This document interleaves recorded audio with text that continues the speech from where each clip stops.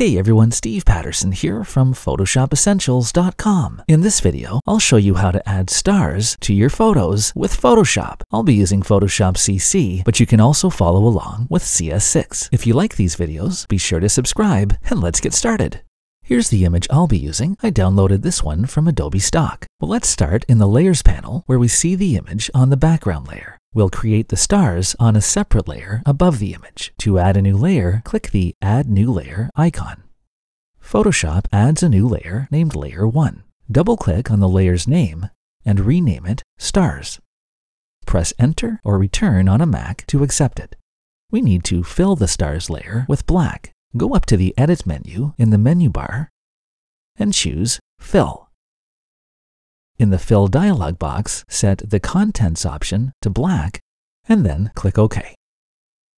To create the stars, we'll use Photoshop's Add Noise filter. Go up to the Filter menu, choose Noise, and then choose Add Noise.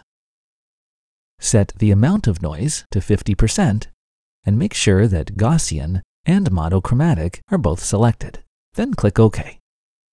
And Photoshop fills the layer with noise. Next, we need to blur the noise, and we can do that using the Gaussian blur filter. Go up to the Filter menu, choose Blur, and then choose Gaussian Blur. Set the radius value to just 1.5 pixels, and then click OK. To turn the noise into stars, we'll use a Levels image adjustment. Go up to the Image menu, choose Adjustments, and then choose Levels. In the Levels dialog box, click on the white point slider and drag it to the left until you reach the right edge of the histogram. This brightens the noise and makes the brightest areas white. Then click on the black point slider and begin dragging it to the right. The further you drag, the more you'll darken the noise and push the darkest areas to pure black. Continue dragging to the right until most of the noise has disappeared. The remaining noise becomes our stars. Click OK to close the dialog box, and we have our initial stars effect. Let's add a glow to the stars, and we'll also add some color. In the Layers panel, click on the Stars layer and drag it down onto the Add New Layer icon. A copy of the layer appears above the original. Double-click on the copy's name and rename it Glow. Press Enter or Return on a Mac to accept it. Then go back up to the Filter menu choose Blur, and once again choose Gaussian Blur. This time, increase the radius value to 4 pixels. This will blur the stars and they'll look too faint, but we'll fix that next. Click OK to close the dialog box. To brighten the stars, go up to the Image menu and choose Auto Contrast. This makes the effect too bright, so to darken it, go back to the Layers panel and lower the opacity of the glow layer until you see just a faint glow around the stars. A value of 20 to 30% should work. To see a before and after of the glow effect, you can toggle the glow layer on and off by clicking its visibility icon. Next, let's add some color to the stars. Now you don't have to add color, but I think it's a nice touch. We'll start by adding blue, then we'll add some orange, and then I'll show you how to randomly mix the two colors together. In the Layers panel, click the New Fill or Adjustment Layer icon, and then choose Hue Saturation. A Hue Saturation adjustment layer appears above the glow layer, and the options for the adjustment layer appear in the Properties panel. First, select the Colorize option. Then set the hue value to 220 for a light blue. You can also increase the intensity of the color by raising the saturation value but I'll leave mine at 25.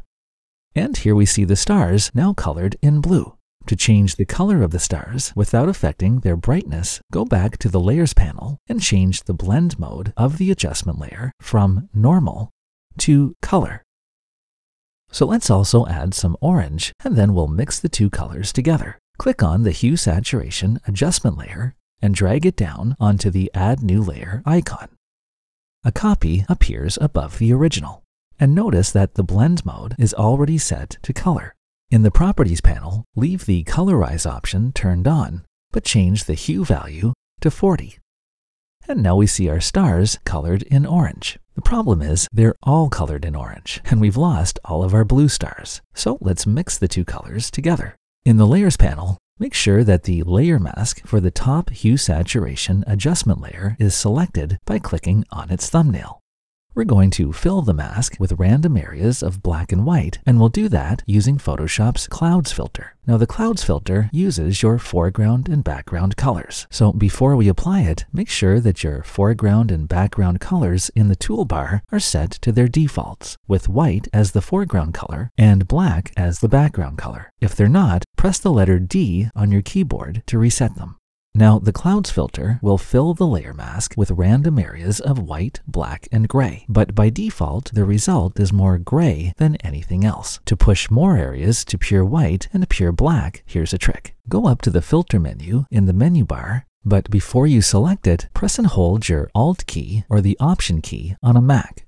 Then, with the Alt or Option key held down, select the filter menu, then choose Render, and then Clouds. On a Windows PC, you'll need to keep your mouse button down the entire time, from the moment you click on the filter menu until you reach the clouds filter. Otherwise, the menu will keep disappearing on you. And now, thanks to the clouds filter, we have a nice random mix of blue and orange stars. To see what the clouds filter has done, press and hold your Alt key or the Option key on a Mac and click on the Layer Mask thumbnail. This lets you view the mask itself in the document, and here we see the random black and white pattern. The white areas on the mask are where the orange color from the top adjustment layer is visible, and the black areas are where the blue color from the bottom adjustment layer is showing through. To switch back to the stars, again press and hold Alt or Option on a Mac and click on the Layer Mask thumbnail. So now that we've created the stars, we need to blend them in with the image. And to do that, we first need to place all four layers that make up the star's effect into a layer group. Make sure the top hue saturation adjustment layer is selected. Press and hold your Shift key and click on the stars layer. This selects all four layers at once. Click on the menu icon in the top right corner of the Layers panel and choose New Group from Layers name the group Stars, and then click OK. The new group appears above the image. If you twirl the group open, you can see the layers inside it. To blend the stars with the image, change the blend mode of the stars group from pass-through to either lighten or screen. As of Photoshop CC 2019, you now get a live preview of a blend mode's effect as you hover over it in the list. And the difference between lighten and screen is that lighten will only show the stars in the areas where the stars are brighter than the image below while screen combines the brightness of both the stars and the image to create an even brighter effect. In my case, I'll go with lighten, since it does a better job of blending the stars with the light from the city and from the moon. To finish off the effect, all we need to do is hide the stars in the areas where we don't want them to appear, which is everywhere except the sky. And to do that, we'll paint those areas away using a layer mask. In the Layers panel, click the Add Layer Mask icon. A layer mask thumbnail appears on the stars group. Select the brush tool from the toolbar, and then set your foreground color, your brush color, to black by pressing the letter X on your keyboard.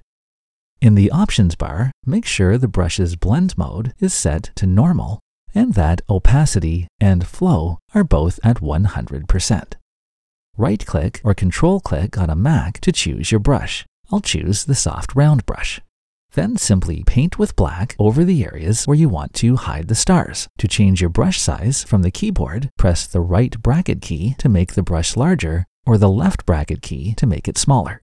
I'll paint over the city to hide the stars from that part of the image. I'll press the left bracket key a few times to make my brush smaller, and then I'll paint away the stars along the horizon. To see where you've painted, press and hold Alt or Option on a Mac and click on the Layer Mask thumbnail to view the layer mask. And here we see that I missed a few spots. So to clean those areas up, I'll just paint over them with black. Finally, if we look along the edges of the sky, we can see some rough spots where it looks like there's too many stars clumped together. So let's finish off the effect by cleaning up those areas. I'll press the left bracket key a few times to make my brush nice and small, and then I'll simply paint with black around the edges to remove those unwanted stars.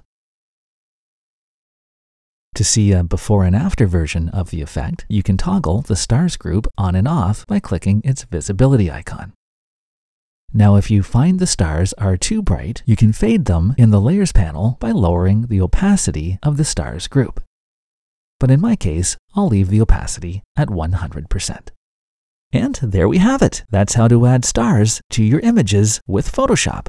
As always, I hope you enjoyed this video, and if you did, please consider liking it, sharing it, and subscribing to my channel. Visit my website, photoshopessentials.com for more tutorials. Thanks for watching, and I'll see you next time. I'm Steve Patterson from photoshopessentials.com.